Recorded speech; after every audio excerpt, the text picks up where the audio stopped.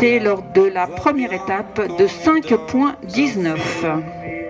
Y a plus que nous dans la ville. Nos deux cœurs viennent juste de se rencontrer pourvu qu'il leur reste assez de battements. J'ai passé ma vie seul à faire le même trajet. On va pouvoir le faire à deux maintenant.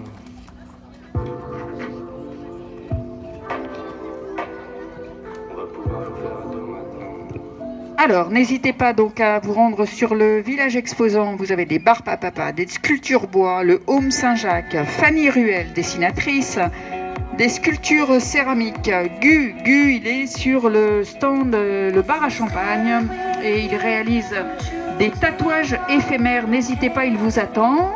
La sellerie comptoir du cavalier, les glaces à la ferme, et bien, bien évidemment notre photographe Simon, donc euh, qui développe ses photos, les photos instantanément.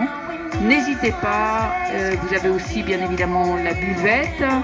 Euh, Karine vous attend à la buvette entre le manège et la carrière.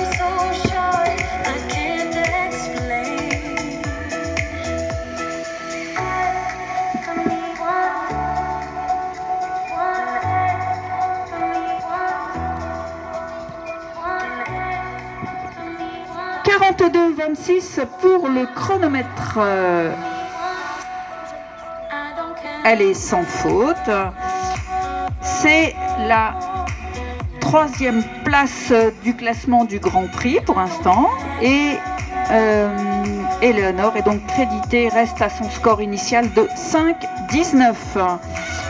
Et elle prend la tête du championnat.